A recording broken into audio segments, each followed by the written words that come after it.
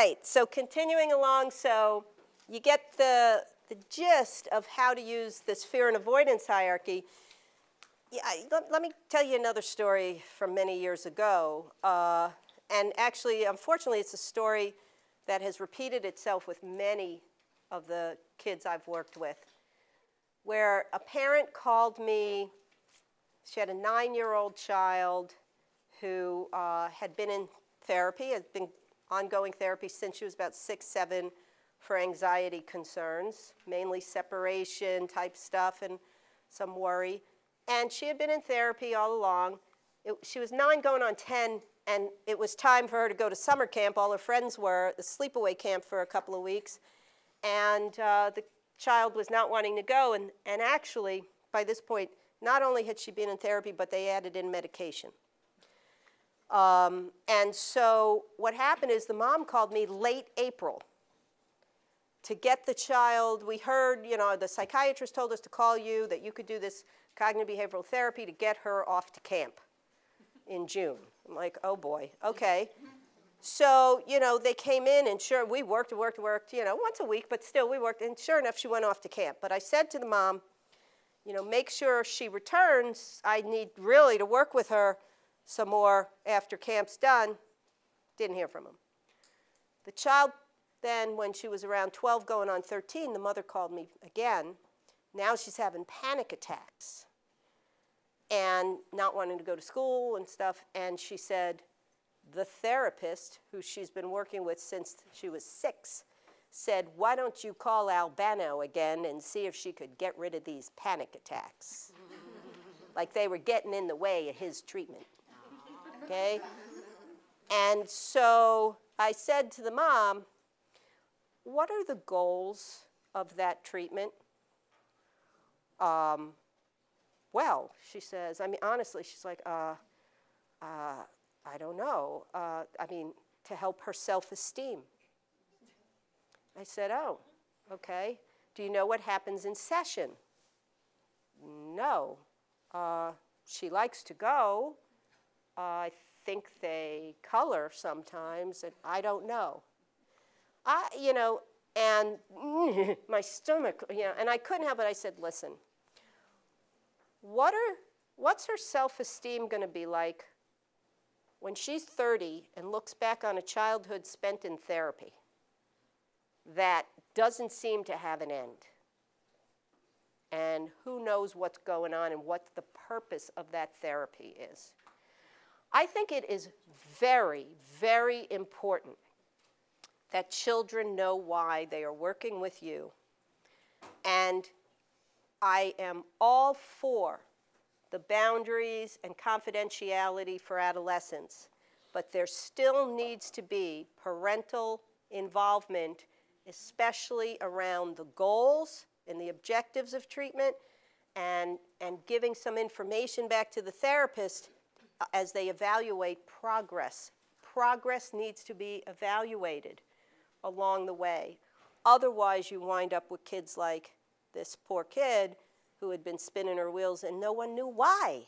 And she actually wasn't getting better.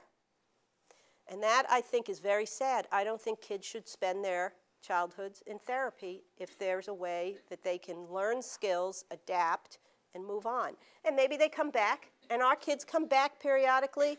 I actually love the, the, the, young adults that I've worked with from the time they were kids, you know, periodically who text me from college, hey, guess what, I got Phi Beta Kappa, or guess what, I'm going on, uh, you know, the Peace Corps thing, is all kinds of stuff. It makes me very happy that, you know, we have this kind of prescriptive model that everyone knows why they're there there's a purpose, there's goals, we celebrate them as they meet them.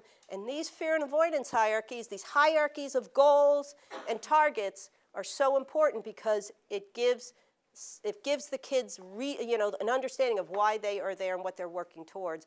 And the same thing with the parents. And if you're not moving along it helps you then to step back and say okay what else we have to do here? Wait you know we've got to figure this out. And you do a little more assessment to figure out what's going on and why this isn't working. Maybe they're not following through and we get it, you know, what gets in the way of following through. But it's always, it's an iterative process of the therapist, the parent, and the child, you know, all working together and evaluating how things are progressing. So that is my bias, and very, you know, I'm not, you know, bashing other treatments, but in cognitive behavior therapy, we would not do treatment without ongoing assessment. Okay, I'm bashing other treatments. In cognitive behavior therapy, we do, you know, it's very important. I'm a, you know, it's very important that we evaluate these kids' outcomes for them, not for research, for them. Reitman. In as much as assessment is, uh, is, is emphasized here, a couple questions for you. Number one, to what extent does, since we are talking about schools, and I always try to remind my students about the school's primary mission, which is you know, educating kids, to what extent does academic assessment sort of come into play in your assessment? And then the second question I have is, uh, since uh, insurance companies are often very reticent to pay for assessment, I wonder how it is that, you know, these, this is a fairly expensive assessment. Seems like it involves many, many hours of, uh, of, of assessment, and, and who pays for that? Yeah, so here's the thing.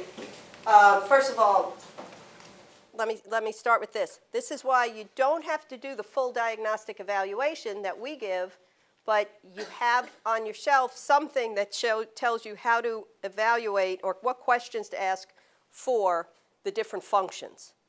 And so that's what I, a one hour assessment can give you the targets of treatment. And then this particular hierarchy serves from the, you know, it's, it's part of your first session with the kids to develop it and their parents, and it serves as the main assessment going forward. So that's why I say the first week you're doing a little more work because you're photocopying 30 copies of it, so you hand one out to mom, one out to the child, okay?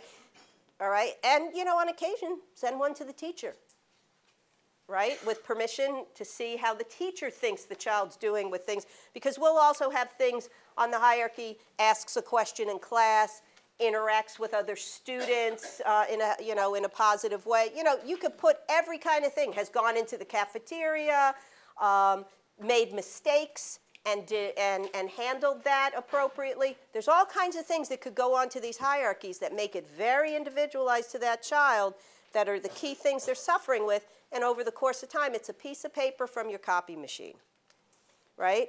So with, and I'll tell you about some, we're going to go very quickly through self-report measures that you can also download from the web and use. But the thing David also brought up here is I always, when it comes to kids who are school refusers, I want to see the last year's of school or in the last year's educational records.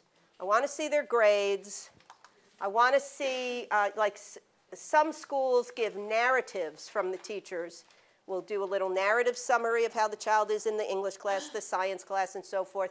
I want to get a good sense of what their functioning was academically because you know there may well be issues of learning disability and th different things that may have been getting in the way and especially the more they're out of school the less likely that gets attended to could go underground. So we might have to ask for, if they haven't had testing done uh, by the school or by a private psychologist who does, or an educational person who does testing, we might need that because there needs to be, especially the longer they're out, remediation, and then also we have to have rehabilitation of any kind of LD issue. So these go hand in hand too, you know. So every, I ask parents, come with a suitcase filled of whatever you can bring me that tells me about your child's functioning up to, you know, and, and, to the point that they left, and then also whatever reports from a tutor or blah, blah, blah, you know, we want to see that. All right? And you're going to plan accordingly with that. You know, it's a lot of times we've had families who have, they don't know how to advocate the parents for their kids in the school. And, you know, for getting testing done, getting you know, resource room, get, you know, and things along those lines. There's actually a crazy thing with some schools that we have up north, the private schools, where they, they make the family sign a pledge of no tutoring.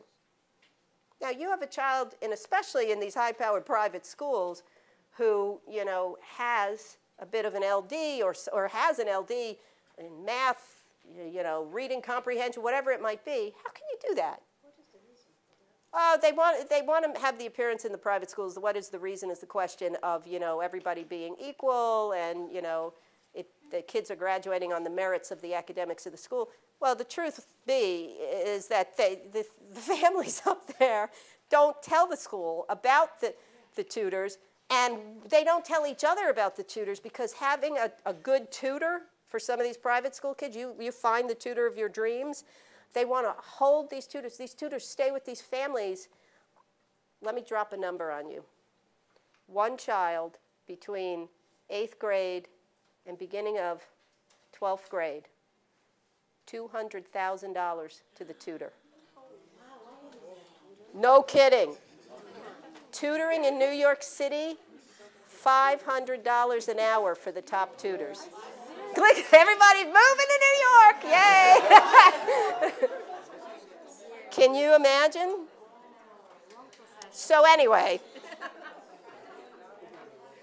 I see David Reitman's in the back seat figuring out how much he can make tutoring kids. Paying five hundred dollars an hour for a tutor, I guess they ain't worried about paying for your rinky-dink little. uh, exactly. I mean, is that? Oh, look, well, let, look. In our Midtown clinic, next time you're in New York, you got to visit. In our Midtown clinic, which is near Columbus Circle, if you know New York, uh, that's, I mean, I don't want to tell you, our real estate is high. Uh, so we actually, we don't take insurance in my clinic. In the, it's a Columbia University clinic. There's no insurance. We have a sliding scale, which is uh, the non-licensed staff can be a sliding scale. It isn't sliding the way that you would want it to slide. We, um, we do fundraising so we can offer scholarships to families who can't afford. But then, you know, we, we also, I supervise at uh, clinics that take insurance and Medicaid through the hospital too and stuff. But it's, uh, you know, New York is a, New York's different. you know, it's another world. Anyway, so other self-report measures you may want to use. Um, there's, I mean, and they're available on the web from, uh, you know, different people who, actually here's the fun thing. The school refusal assessment scale is, is in our manual that Chris Kearney and I have. It's in other books of Chris Kearney's. I put it into the web, school refusal assessment scales. Somebody had scanned it in. That's why you have it, because I was able to download it from someone's website. So if you put the names of some of these in negative affect self-statement questionnaire, that gets at the way a child internally speaks to themselves. That's Phil Kendall from Temple University. Here, uh, the Children's Depression Inventory. Okay, I've got to ask the people at FIU to edit out of the tape what I'm about to say the Beck scales, the Beck anxiety inventory, the Beck depression inventory and stuff, they're all copyrighted now. The children's depression inventory, you Google this and get an old copy of it from before it was revamped. It correlates perfectly with the copyright paid version. Okay? All right, the end of the editing. uh, the state, and you know, many of these scales are available online. Others, you do have to go to like multi-health systems and stuff. This is just if you want to get extra information that might be helpful to you about things. I would say the child behavior checklist, for example, and the youth self-report gives you broadband and then some uh, narrow band scales. Um, there's also um, you know, different problem inventories that you can find on the web. But this is supplemental to you, right? It's supplemental. It's, it's more of your clinical interview and then honing in on, uh, you know, the hierarchy that's going to be fundamental to this treatment. And then, um, and there are parent-teacher measures, obviously, the parent Conners family environment scale. Depends. There are parent rating scales of anxiety in their child. The multidimensional anxiety scale has a parent version. Depends if you want to use these things. Again, it is a cost issue and time. Parents, of course, I make them sit in the waiting room and do a lot of like, I have my own, I develop background history questionnaire for our clinic, so I make them fill out and write. They're not just going to sit there and read, you know, popular books or whatever. Um, a big thing for us is observing. When I have a new family come in, and, and let, me, let me say, you know, I'm, I'm giving New York such a bad name.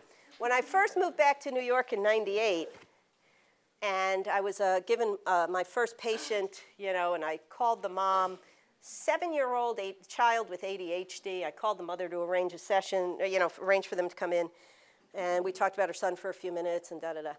And at the end of the call, I said, "Okay, Monday, five o'clock," and she says, "Great. When he's done with the session, please walk him out to the car." I'm like, "Whoa, whoa! No, I need you and his father to come in with him." Oh, you do? Well, he has been seeing someone. He knows how to do this. Oh. well, that's lovely. I need you and the father to come in. So, anyhow, you know, behavioral observation begins on the phone, right? It really begins. And then the thing I like to do is I walk, especially because, you know, I'm loaded with anxiety, is my my caseload is anxiety. I like to walk out to the waiting room, and there you have a mom and a dad and a child sitting in between, and I'm like, oh, Sandy, it's so nice to meet you and to meet your mom and dad.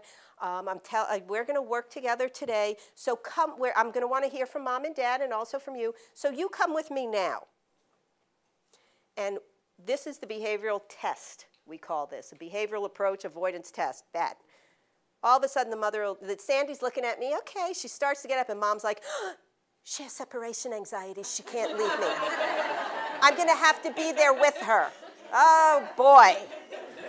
Okay, right there. Right there. You start to see dynamics, you know, playing out in front of you. I do use the D word. I'm sorry, David. I use that word every once in a while. I mean it in a behavioral way. So you get to see it. Are they not wanting to move? What's going on? You know, you, and there's different things that you can ask during the course of any assessment that you're doing or observation that you're doing. Um, you know, you ask the parents when, you know, about these things, maybe they can record some of these things at home. It also might help the parent when you teach them, listen, we want you in the morning just to watch and one of you to take notes and the other one to be the parent who tries to get the child to move. I want you to record uh, what happens. Is the child crying? Is there any, are they complaining about any physical symptoms? Uh, what are they saying? Write it down for me. And what is the parent who's trying to get him in? Write that down for me. You know, um, uh, things like that that you could do. Whenever we can, I like to go to the home. And that is a tough thing, I know, with insurance reimbursement and stuff. But I got to tell you the story of a child from, that I will never forget 12 year old school refuser. Uh, he had a history of separation anxiety and GAD and migraines. Um, and this child um, was brought in. He stopped going to school. This was sixth grade. He stopped going to school in uh, right after Thanksgiving break. So they brought him into me, fortunately, like right around February, beginning of February. And what happened was, I'm sitting in my office. There's a new intake. I'm waiting for the family to come. And all of a sudden, the secretary runs in. She says, Anne Marie, there's something going on. Come out, come out. And I go out to the waiting room, and there is a woman standing there. Oh, oh, oh, please, help us, help us. I'm not kidding. This is at Barlow's clinic. She grabs my hand and she takes me out the front door. I'm like, what the heck? And there's a man standing by a van. The back door of the van is open, and he's standing there. Hurry, hurry. I'm like, what the hell? Am I being abducted? What's going on here? You know, I get to the door, and there is this kid laying out on the back seat and laying there. And the, the parents say, he's having a seizure. Like, you came to the wrong place. PhD does not, I have no, so I'm like, oh my God. So, I, you know, I'm, so I, I really was at a loss. I got in the van and I looked at Bonnie, who is our secretary, and I'm just like, just hold it a second. I put my finger, two fingers under the kid's hand, and I said, if you can hear me, squeeze my fingers. He sque- and I'm like, all right, this is no seizure, baby. All right. So this was our first session, okay? It was in the van with this school refuser. And I sent mom and dad off to do the questionnaires and stuff, and you know, it was the first session with this kid. What as time, you know, what happened is when we got to the point with the treatment where it was like, okay, you're getting, you're going to go to school this morning, and I told the parents, call me, and of course I was ready at 6:30 in the morning because they called. He wasn't getting out of bed. I went to the house. This was such great information to see. go into the house um, and go up to his room, and there's a sign on the door do not disturb. da, da, da, this is the haven of. And mom and dad are standing there with me. I open the door. The room is all dark except for glowing little lights. Enya is playing on the stereo. Okay. There's along one wall is a turtle tank, the gerbil tank, and the fish tank. I'm like, oh my God. I flip on the light, at which point mom's like, okay.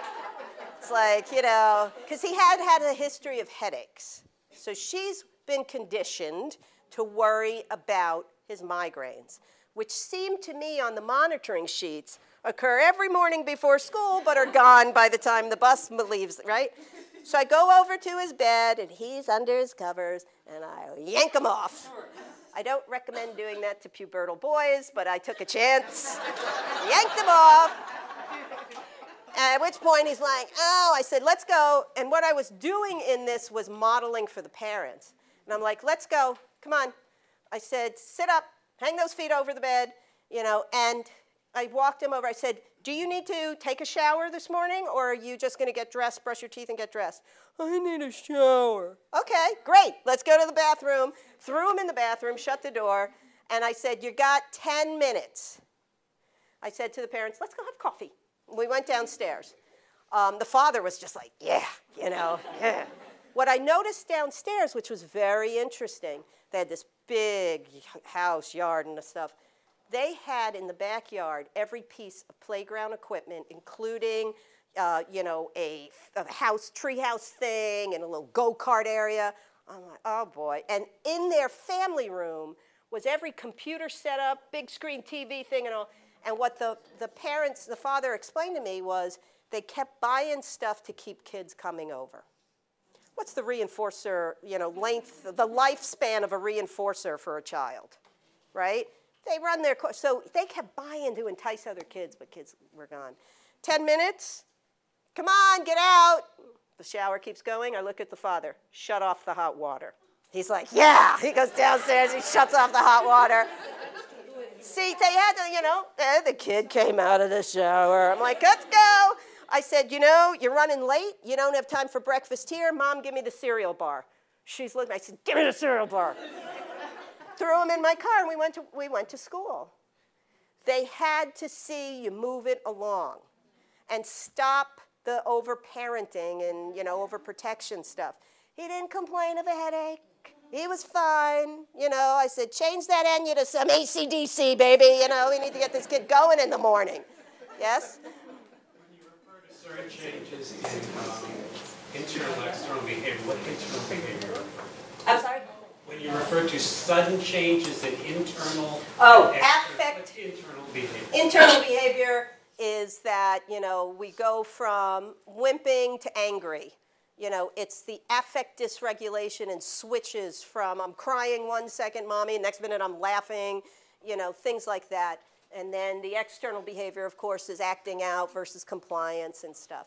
So the point being that if you can get any look at what is going on. Um, this again is why God gave us undergraduates. We train them and send them as observation. they do observations in the schools for us. Uh, they could go to people's homes, and you don't, you know, you don't have to bill for them if it's not something that's billable. So if you have any way of setting up for your clinics the way you work, that you have some people who are like interns and stuff. Students are always looking for ways, you know, to work in psychology and social work settings you know, you can send them out where you don't have to bill or bill, you know, not, you know, minimally um, to do some observation at home or school. Emery, since a lot of people won't have the luxury of having graduate students, I said wonderful though they are, uh, to what extent do you employ, uh, you know, things like this? Oh, parents yes. get a little video, what's going on Parents love Do do that? bringing videos in. Par- you know who loves bringing videos in? Parents of children with selective mutism. And you see their kid is singing like Madonna at halftime, and they won't talk to you. So yeah, we uh, uh, using using those. Uh, this is great now to upload to you know me I'll give you my email, the videotape, or just bring it in and we'll play it.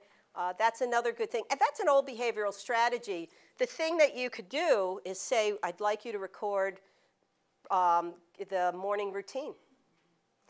And the first couple, and I want you to do it for the full week. The first couple of days, you might ignore it because they know the, that the tape's playing, so to speak. But then by Wednesday, you've got really what's going on. You've got a, you know, that kid is real, you, you get the real thing of the way the parents and the kids, so you hear the cursing at them and you hear the, you know, everything on it. So definitely do that. Behavioral observation, any way you can get at it. I mean, even making up things like, okay, look, thank you for coming in. I know, you know, we've agreed school refusal is the problem. You know, it is only 11 o'clock. So what I'm going to ask now is if you'll come with me, I'll take you to school. that gives you um, right there a behavioral test. How are each of the players reacting to that? Um, and you could say, okay, I was testing to see what, what would go on. The big thing with behavioral assessment is we want to know what are they thinking as much as possible. And a lot of times you can hand the child a piece of paper. I just told you I'm going to take you to school. Write down for me what is going through your mind. And mom, dad, you write it down what you're thinking. You're getting thought listings of what they say to themselves at the thought of going to school. Okay? Now, I've told you I'm going to take you to school. How would you all solve this? What do you think about? Then watch them interact around, ah, uh, is she really? She can't really take me. They won't let her take me, you know. And the parents, watch how that goes. Is there coercion? Is there threat? Uh, is the child amping it up that, fine, I'm going to jump out of the car on the way? You know, what are the things that is happening between the kids and the parents right in front of you? Because again, it gives you more stuff to understand how this goes at home and why maybe parents throw their hands up and, and all. So these are different things that we want to see in terms of behavioral observation. And again, it's this all like within sessions one and two as you're moving along, coupled with as you start doing the treatments as you move along. The school refusal assessment scale should be in your packet. At, is it in the back of your packet? Yes. So there's a parent form with the P, and then there's the child form with the C. You, it's 24 items. You ask them to score it. I mean, I mean to fill it out separately again, and I give one to mom, one to dad, one to the child. Um, and then there's instructions for scoring it to see what the highest function is. So the four functions are covered oh, in the 24 questions, and then you pull out it, their scoring um, instructions, and the highest function is the one that you're going to be prescriptively applying a treatment to. One question for two situations. One is uh, the videotaping, which I think is wonderful data. Um, how old is the child that you tell the child or don't tell the child? That's a very tricky situation that you're videotaping. Some of them may have a evacuation, a stop and break an iPhone or something. Um, and the other one is that scale, what age is that? Oh, the school- Yeah, as a self-report, let me start with the easier one. As a self-report, the school refusal scale to how, uh, however young the child can read, but it's typically seven and older. That's, and it's written that way. But you know, again, be, bear in mind learning issues and things like that. I don't know if there are translated copies yet, but if you go to the University of Nevada, Las Vegas, Chris Kearney, K-E-A-R-N-E-Y. He might on his website have translate, have some translated for Spanish. Have to see. Um, and then the other question about informing the child whether you're going to tape record them or not. Um, I would say yes. If it's something you're setting up, I would say I'm going to ask your parents to just uh, record what's going on with this uh, so that they know. I don't like to do things behind a kid's you know, back in that way. Um, so I would say yes, all right? And I think, again, you'll get the true behavior as it starts presenting itself over time. So let's start with treatment now. First thing, if a child is, is at a school especially, or is, you may be home, but you're going to be on a regular school day schedule. We've got to establish the school day routine. Do you ask parents about this? A lot of times, you get, well, what am I supposed to do? Police him? And in a way, it's like, well, yeah. Mhm. There is something here to say, I mean, we do have parents who are working and stuff. There is a little bit, especially with kids who are a little older, where parents feel, well, she's 14, I could leave her at home, or 12 years old, you know, latchkey kid, I could leave him at home. You know, I want to put a little more burden back on mom and dad. So you'll see, I'm asking them, I don't care if it's, you know, a big shot Miami lawyer or if it's somebody who's working in an office, you know, as, as a secretary. Make space in your work area for him to go with you and sit. And you'll hear about this as we move along. Uh, there has to be a little bit more burden put back on the parents to get in and start working again. So school day routine is important for us to get on it. Right? And it's especially important when there's other kids in the house. Why does he get to sleep in? That's, you know, it's not fair. And you know what? It isn't. I align with those kids. It isn't. On a typical school day, um, we want to see that, uh, we want to outline with the parents and the teen or the, the, the child what a day would look like, what time would you get up, okay? Uh, 7.15, you're getting up. Uh, what would you be doing then? Do you shower? Do you do breakfast first, or do you shower first, or brush your teeth? How does it go? Do you need to make your bed, or you know, how does this work? I want it on a time schedule. I want to know all the way through, and then I want to know once you're at school, the bell rings, let's say at 8:30. What's the first period? What's the second? I want to know what the day is supposed to look like for you. When do you get a snack at school, or when what is your lunch break? Okay because we are going to do this. This is going to be your day.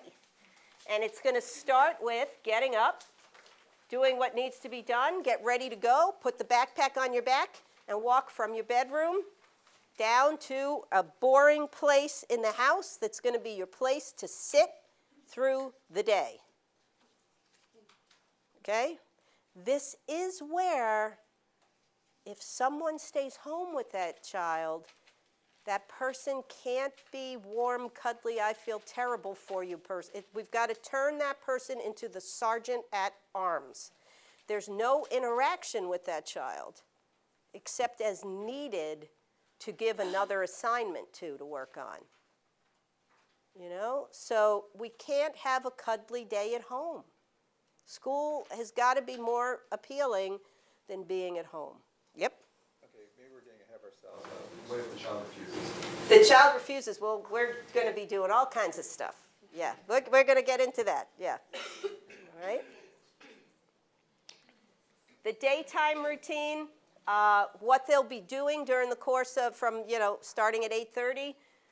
Well, one of the things, like I said, I want that child as, as much as possible. If no one's home, um, the parent brings them to work with them and they're assigned a boring task, but this means you got to tell the people who work with you not to talk to them, not to give them treats. This isn't like visiting mommy's office and getting, you know, uh, candy from the secretaries. And so, no, you're going, you're sitting at a table or at a space, and you are going to be either doing boring, rote tasks for mom or dad, or you're going to be working on schoolwork that will be sent home to you from school.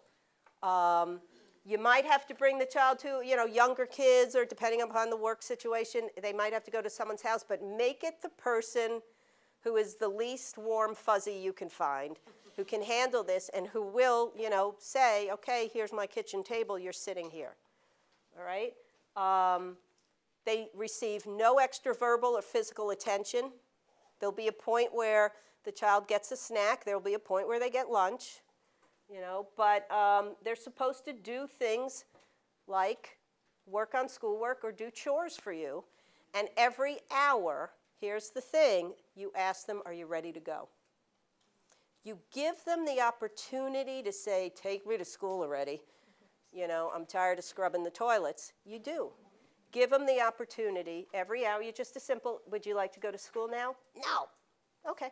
And you keep at it and you go back oh, and back away from it. The thing is, this helps parents with the mindset that, well, if he missed getting there, there's no point in going in. Well, yes, there is. All right? You, you know, the school will welcome him at 2:10 as much as they'll welcome him at 8:15 because they want to be on your side to help him come in. All right? So the first thing you do is establish this daytime routine for the kids. Now, yeah, they're going to kick, moan, scream because they've been allowed to escape it. Now, there are different things that we, we can do here. With, you know, younger children, 12 and under, it, it's a little easier because when they start seeing you mean business, they whimper and cry, but a lot, they'll, they comply for the most part. Even if it means sitting at that table and they eventually put their head down and you, you know, when you find that they're sitting there sleeping, you know, you wake them up, come on, keep at it. Um, you gotta, you, you know, there's no TV, there's no computer. And this is, you know, again, I mean, uh, if they need to use a computer for, for working, and make sure it's a computer that is really pet protected password. They're not going on the web. They're not playing games. It is, you know, just for typing in an assignment type of thing. Um, the older kids are the ones who will give you more trouble, but that's where things like a day treatment program that has, now I don't know how it is here. Different places have mobile support units. If a kid's been out for six months to a year, New York and Pennsylvania, a couple of other places, you can, you can engage with the mobile support team that will send a behavior specialist. Nothing like that here, yeah. Okay. But then look, I would look and see what day treatment programs exist. Does University of Miami or, you know, do different programs have day treatment? Um, because it may be that that's where they should be. Uh, because they're going to be getting therapy plus most of these, when there's a day treatment program, there's a school component to it. Again, it's not going to approximate what they're missing. If the parent can't do this at home, right? Um, you know, and we have gotten, we have sent kids, you know, to residential when we've had to. Um, so as quickly as possible, though, you are changing the milieu at home and making things, even to the point where they're getting they're, if, at all possible, I even have them not even be at home. They're, they're doing their school day at a local library. All right? So, mom, and you know, and this is where, okay, you know, mom can sit there and read a novel or whoever's supervising them, but he's going to be at a library then. And this is where you want, if they refuse to go to the school, you make agreements using reinforcement that we'll be talking about as we move along later and, and more this afternoon uh, you have the tutors meet you at the library for the child, not at your home. As much as possible, they, you've got to get them up school day routine out of the house if possible so they're not there and they have the opportunity to try to escape to a room. I do have parents take locks off of doors so they can't barricade themselves into their rooms and stuff. Yep, we go that far for, we go further, and we'll talk about that as we move along. Um, you know, but they've got to work on, and you are asking, and, and you're having the, the, parents and working with them as you're working together with them in the school to get as much schoolwork as possible sent home to work with them to keep on top of it. One of the big kickers with school refusal is when the kids really fall behind, and especially when they're you know, then they lose the academic year. Then sets in the I'm behind everyone, there's more embarrassment around that. Uh, they don't want to go back to school as a ninth grader yet again, things like that. So the focus here is on trying not to get that problem compounding the school refusal problem you already have. So you have to work very hard to, you know, get them academically more in line, which means, uh, again, meeting with teachers as soon as possible in the program that you're going to work with, as soon as possible after school hours or whatever to really uh, get from the teacher, the teacher to start grading the kids' papers some and work with kids and have some talking with the kids about things so that they feel that they're catching up and they actually are starting to catch up some. Um, and I will say this too. you've been out for the school year, you're going to summer school. Because that's a good, you know, natural resource that you have from the public school systems and stuff to try to get this kid back into the routine of going to school. Yes? I, I don't know if you're gonna talk about it in the afternoon, but I'm sure s- uh, some people may be wondering, and I am, because kids who are in public school here, as we know, with response to intervention and all that, that has been delayed the process so much.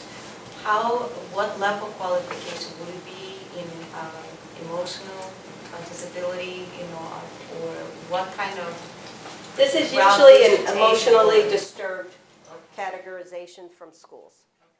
Uh, School refusal for internalizing disorders like this is usually an ED classification. And to qualify for that, and I don't know if it's different here in Florida, would a child have to go through a whole testing and wait for all that? Well, I don't know, that's, you know, some places,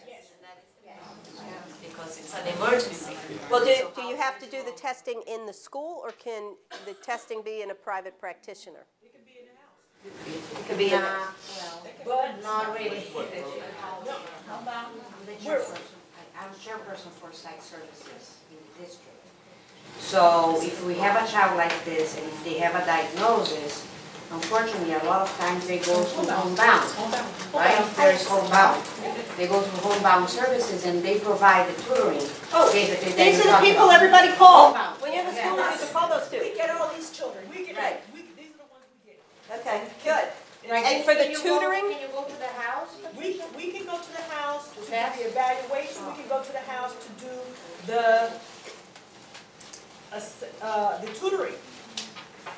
We cannot go to the house to do interventions, Okay, so that, then that's. so you're the educational intervention. the educational that goes hand in hand with what the social workers and therapists are doing. If they are seeing social workers and therapists. Mm-hmm. Because all you need is a pediatrician to say, this is what you have, and you can And get you get our services. Medical And they may not have any outside treatment, because we cannot tell the parents, you have to get your child treatment in in our, Well, we can suggest. We can suggest, but we cannot tell. So you can't, you, uh, right. So the kids may not be receiving any, We may, we may Okay, make so this is- suggestions though. This is where, so, okay, so we have a better sense of, at least in Dade County, you're Dade County people. Um, so we have a better sense that there is a homebound, uh, services if the child has a diagnosis and if they follow the steps to get this, where tutoring can occur and evaluation can occur too, right? Yes. But, um, but the thing then that, what we're bringing up here is that for the parents to recognize this is a problem warranting intervention means that somehow they need education about what will happen to your child. First of all, that this doesn't spontaneously remit once your child is missing school. They're not, you know, parents have to be helped, and this is again, and grandparents and anyone around, they have to be helped to understand kids don't grow out of school refusal. They're not going to wake up next year in September, well, here in Florida in August, and say to themselves, I'm so glad it's a new school year, I'm getting into school. It doesn't happen. And they've got to understand that the children are being put further and further behind kids their age, which makes them feel even worse. And, you know, it, it interrupts and interferes with the ability to make friends. So you've got to do some psychoeducation somehow, whoever's in schools, and then our homebound people, you know, we've got to do some psychoeducation that helps them start understanding they're not ever going to be leaving your home. I mean, I say to parents who are who, who have kids who really are entrenched, and the parents who are like, you know, not taking action. I go after them. Has any any of you ever uh, heard of Albert Ellis? Of course. Okay, you ever see the way he used to work? He's long gone, not long, he's gone now, unfortunately. He's, he's a very direct, in your face New Yorker, where he was. Um, so my thing with the parents is a little more gentle, but I, you know, I work up to the point where I'll say, can you tell me about your medical history? Yours, not your son's. I want to know about your history. And, you know, father, well, you know, obviously I put a little weight on, I got hypertension, you know, okay. Mom, what about you? Well, you know, I do have asthma all my life, and, you know, and, you know. So you're hearing about their history. Okay, look, are you really following a doctor's orders? Because, you know, I really need to know how long you're going to live. No, I go there. And they're like, what do you mean? I, I really need to figure out what's your family history. When did your father die and mother die, and what did they die of?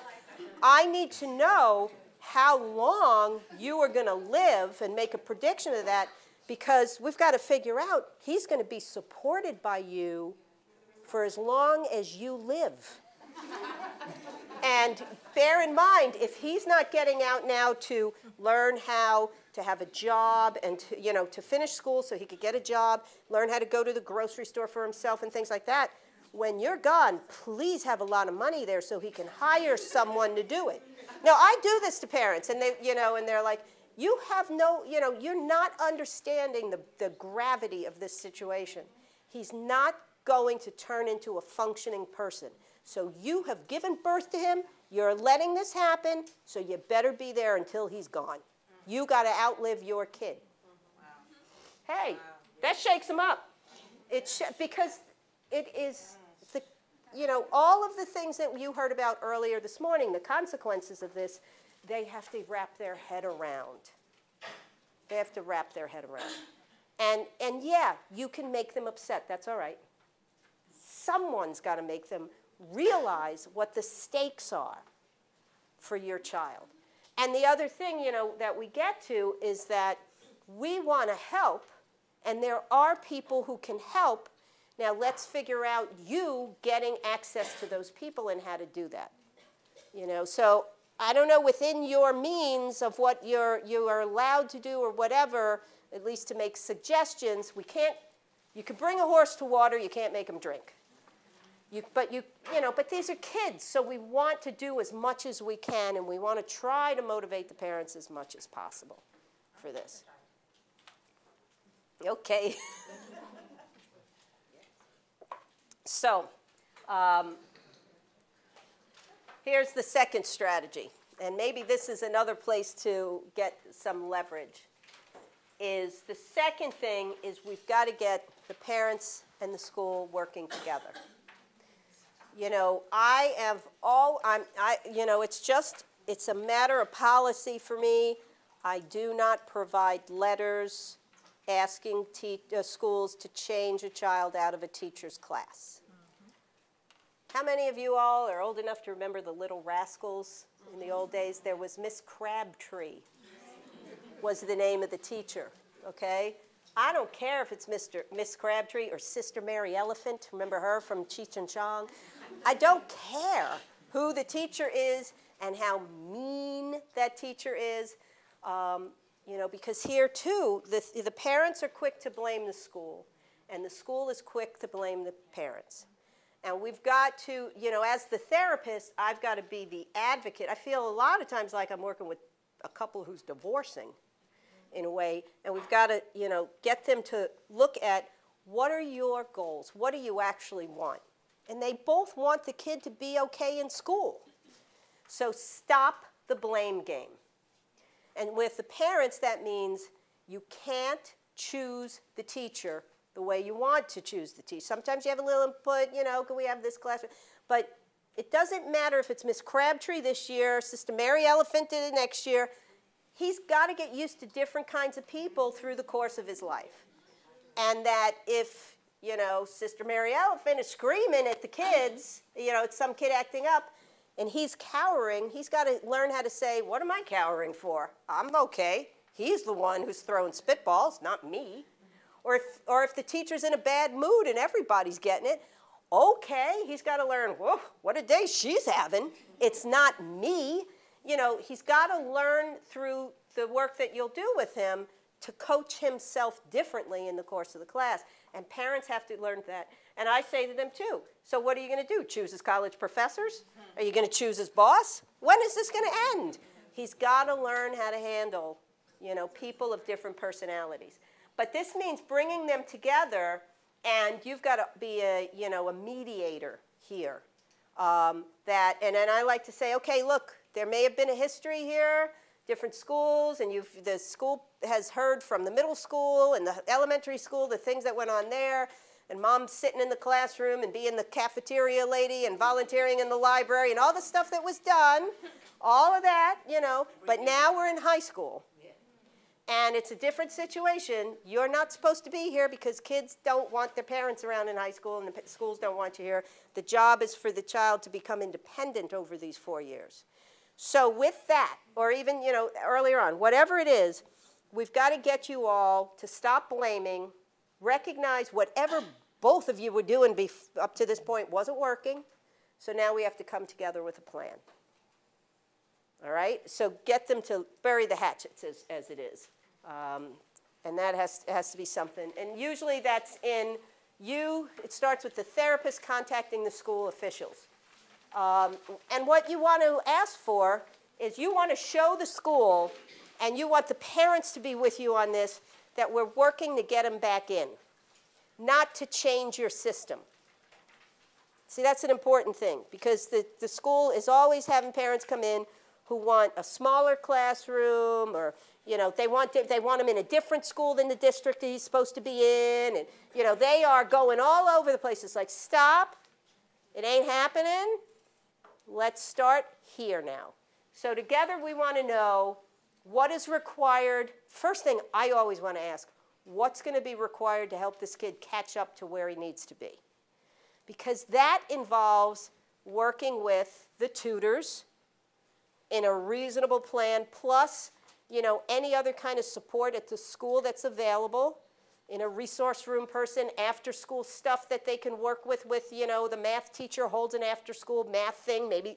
We have to figure it out. What are the resources available to get him or her back on track academically and be able to make up the work that could maybe save him that grade? and not have to repeat it. Maybe he's only missing 20 days, but it's the assignments that are going to knock him out of being promoted. But he's a smart kid and he actually should be. Okay, let's get it together. We also want to know, this is important to know, and to take a look at the pattern of what's missing. Maybe this kid has been doing the social studies homework, but not the math. That's where I'm like, wait a minute, is there a math issue here? That's why testing is important and stuff, because we need to know, is, do we need some kind of LD issue, you know, to be evaluated and worked with? So this is important to find out what's going to get them back on track academically. I want the school to tell me, what are your goals? Right? And I want to know, what do people think of this kid? I want, you know, as much as possible, I'm asking the school counselor, uh, the school uh, principal, whoever, you know, is the contact person for me. So what do you get in terms of talking to his teachers, to the peers? What, what do they say about him?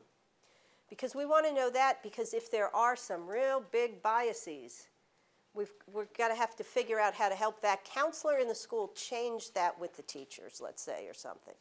You know, because kids and parents will contaminate things. They don't care to be burnt, especially the kids. I'll burn every bridge to be able not to have to go back to that school. No, we're going to repair the bridges. All right? Um, procedures and timelines for reintegrating into the school. This is where I need the school to buy in with me that it's not a week, it might not be three weeks, but I'm going to be working and I need to be able to have access to making plans where he visits at different times, you know, according to our plan, and he gets, and he meets with teachers, and he meets, you know, and he starts like attending a, the easier class. Maybe he goes to the resource room hour first and not goes into social studies, you know. But we've got to get this set up where I have access with the goal being he's in half the day within three weeks. He's in full days at the end of five weeks, let's say. You know, so we move along so that they're on the same page knowing these are the goals. And we're going to keep in contact. It's very important to try to have one main contact person at the school who's always going to work with you and the parents so that they're not shifted around to several different people because that upsets the whole apple cart again, right? Um, what are the obstacles?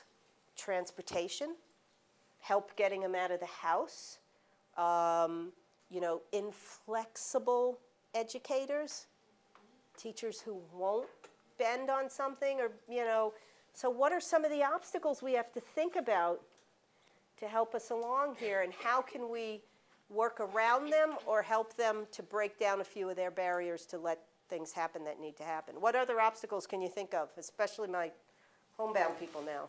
Stereotyping. Sorry? Stereotyping. Stereotyping. Stereotyping, exa- yep, because then everybody's going to treat this kid in such a way that he's not going to be able to break out of it. Now, we're going to talk, you know, as we do the social phobia stuff in a little while about the kids and how to work with peers around that, but the teachers is an important thing. How do you get around that when there are school personnel who are looking at the child and they, you know, and they experience it in a negative way? In, the, in our system, we have, for kids that have behavior difficulties, we have to create a behavior intervention plan.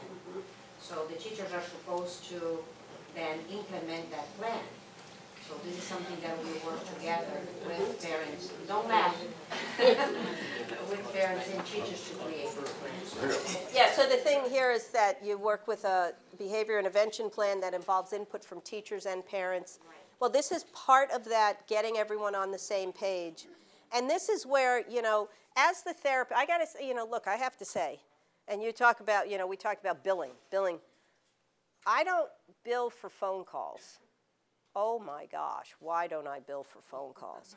It takes a lot of work spending time on the phone, talking with the school personnel and the parents and going back and forth, arranging conference calls with them at times if that's, you know, what works best to get everybody together.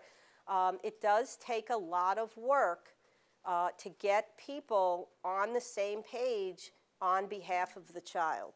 And recognizing that teachers are tired and overburdened as it is. Right now in New York, I've got a program going on in a school that has something else, that's not, it's nothing to do with school refusal. It's a really fun thing, something different. But um, they're heading into their testing. They have tests at the end of April. And so we're engaged, right now they're meeting about our project. I'm not there, and you know, my way of getting the, our way of getting the teachers engaged is we're, we're meeting with them on their lunch break and we are bringing in food so that they don't have to make the extra steps around that and we are being as efficient as possible with them. We've done lesson plans for this project. We've done it all in advance, sent it to them, so at their leisure over the last couple of weeks they could look at this and we could get their feedback without burdening them with writing something and, you know, and stuff, making it as easy as possible because, that helps them to be more involved and buy in. So it, it doesn't matter if it's a project or one child any extra work you're giving the teachers, obviously, you know, you've got to think about what their, what their, you know, level of burden is and, and work around that and validate it. Val- let them know you understand, you know. Um, because it's more than, you know, it's not unlikely that they, don't, that they have, they probably have two kids like this, plus then the ADHDs who don't refuse school, unfortunately, but disrupt the whole thing. you know, they got a lot going on. Um, and then, you know, we have to also understand, and, and we already, you know, the past school refusal behavior and what it looked like. That is important because, you know, there's your stereotyping.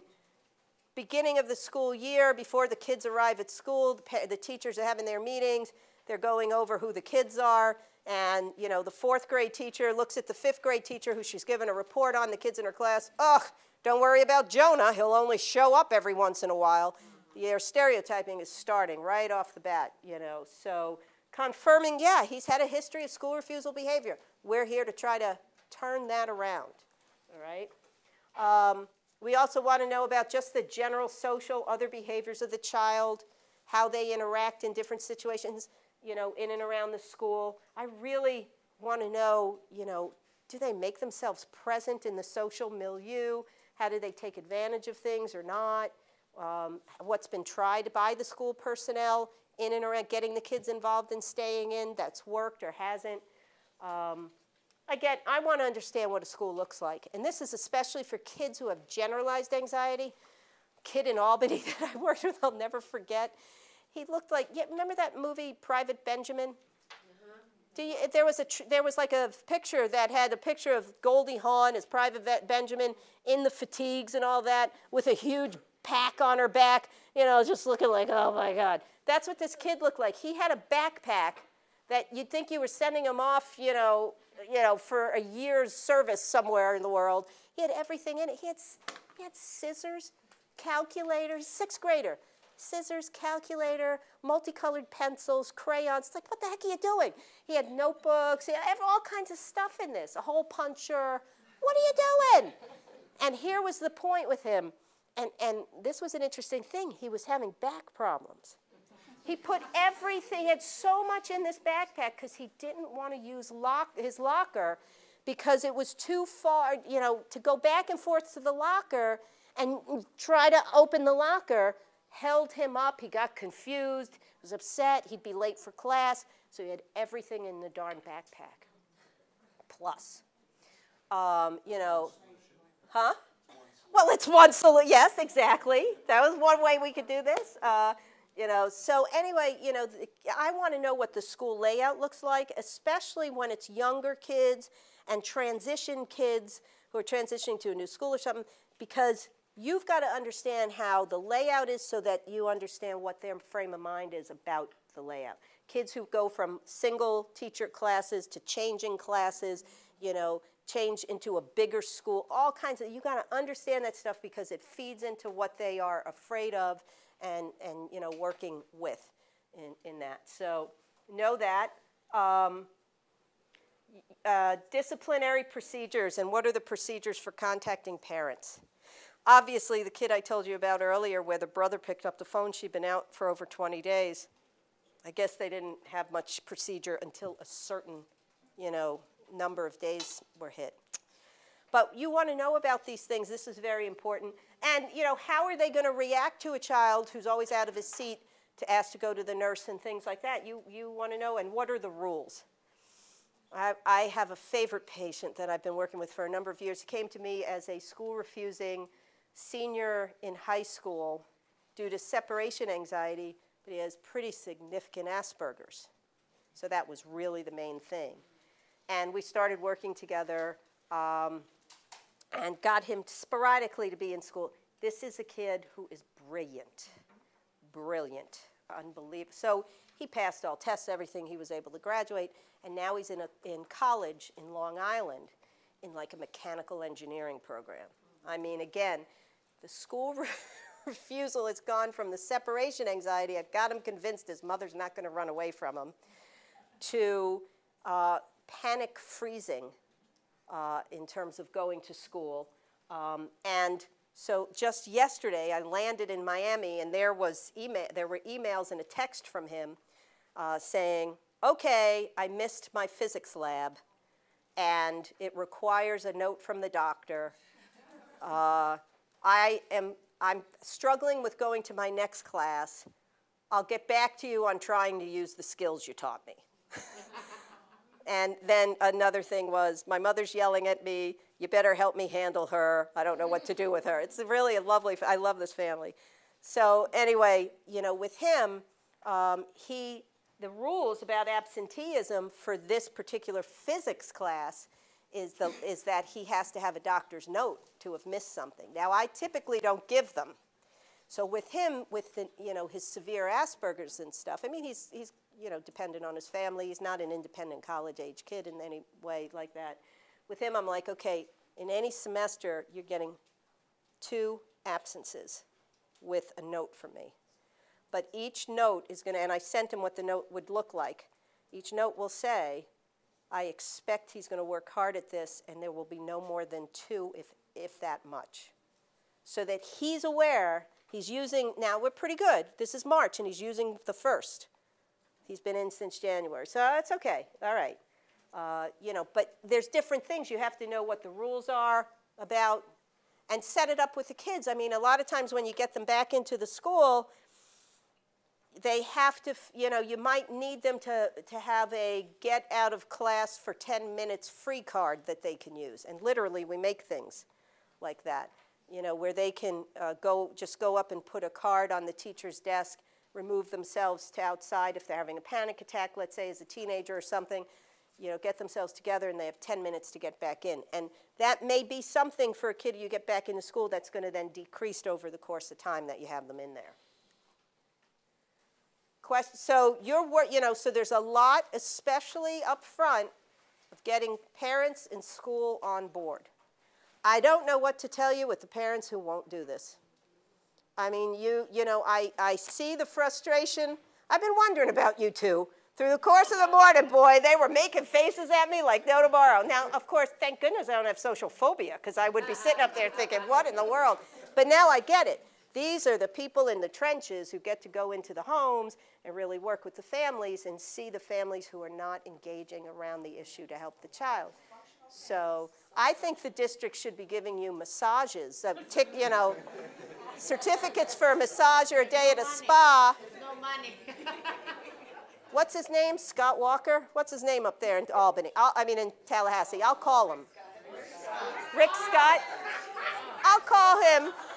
Any of the homebound staff needs to have vouchers for massage, pedicure, mani pedis. There you go. So I get it. You, you know, they, they see really up front and close the struggle and so you, you know, they have good, accurate empathy, first of all, with the parents when, because you're confronting and you see what the child's looking like, but then also, you know, you get that, what we call the, well, not we, the dynamic people call the transference and counter-transference. You know, you don't know who to be madder with, the kid who's not going or the parent who's not helping. You know, and there are times your hands are tied. Uh-oh. Yeah? I just wanted to, I- I wasn't sure, I wanted to understand that the, the home visitors, did you guys say that you were able to go to the home, could provide like just a home, like a home tutoring type service, but you weren't allowed to do intervention, is that accurate? They do ass- assessment. Okay, so you can educate them, you can provide what they would otherwise be getting in the school, but you're not really, for example, be able to implement what we're talking about here. We're the school system, we educate. David? You may. Well, I, no, I just want to clarify one thing. First of all, a lot of these children are, are regular ed students. Mm-hmm. So they're regular education, they have a diagnosis, but they have never really been assessed. Mm. So they are not special education students who are then eligible for services. Mm-hmm. Okay? And when, it- well, and then when it's homebound, it becomes very difficult because the services, and Isabel can help me, but the services are provided mostly in school. They have to be in school. So basically, I mean, we do have, the- usually in the homebound um, ed- uh, program, they do receive, it is a teacher that comes out to the home, provides the educational services, because our business, as Patricia said, is, um, is Evaluating. education, but. So your um, degrees are as teachers? Yeah. No, no, Well, she's I'm a a psychologist. Okay, Yes. all right, placement specialist. All right. But typically, the homebound services do not, don't, don't, do not include related services that would be delivered Counseling. in, in a, um, school site. Such And- as, and a- so- such as a service like return, like actions that would return the child to school. That would not be okay. Well, this is an evaluate Sometimes. and to educational assessment. Evaluation. Is that right? Yeah, I guess what, I I guess what I'm, here, here's what I'm really asking. What I'm really asking is, you guys are here, that's wonderful. And would it be possible for you to take the things that are being, Yeah. uh, done here and actually use them to get children back into the school? Well, that's probably because I am the school psychologist. Yeah. And how many kids do we have right now? About 600, 700 kids. That might take a little while, but putting that aside,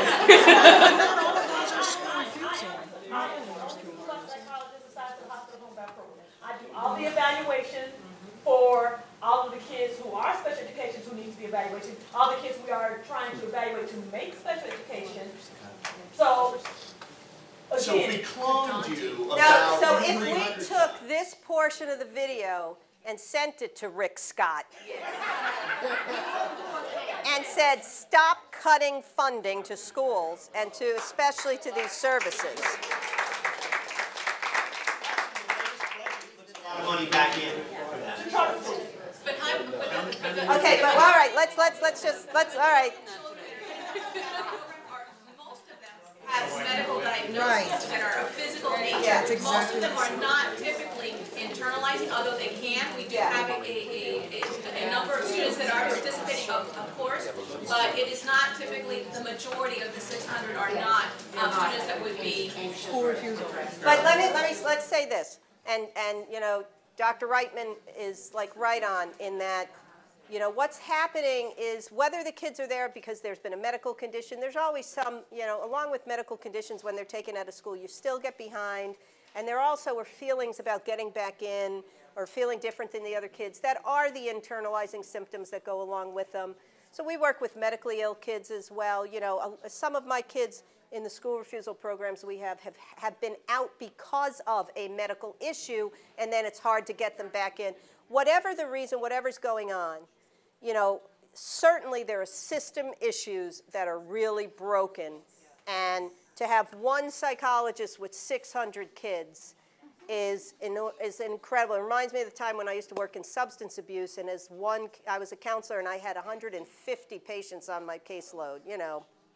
So the thing of it is, you're overburdened, you don't have much support, and you're sitting in front of a family who is not engaging with you to help the child. The question I think from Dr. Reitman was, what can you take from here in the way of, in the short amount of time that you have with any given family, where can you find what we call the nugget for that family that hooks them into understanding why it's important to be to follow through and do more for your kid than than give your throw your hands up. And that's where you know, looking at the looking at what the place looks like, looking at who's caring for the kids, looking at who's talking to you and who isn't, you know, and tr- and trying to work through and at least, I mean, I remember when I worked in Broward County, I had this huge binder of, and it was alphabetized of all different types of services, and I had just handouts in it where you know, okay, you need a parent support group of this, where you need, you know, you've got to a resource binder, you know, something to hand them, but also using the psychoeducation about school refusal and the consequences in some way and get them started in some way about, look, okay, he's home with you, let's at least start doing the homework while he's home.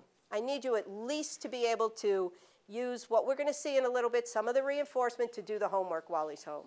Something to get them going and to test them to see if they could get on board a little bit with you. I know you can't do intervention, but you know, parents might not even know how to do some of these things. they might not even know how to start turning the problem around. And if you could at least hook in a little bit to get them going. All right? Um, and we can maybe talk at different breaks and stuff about some other ideas.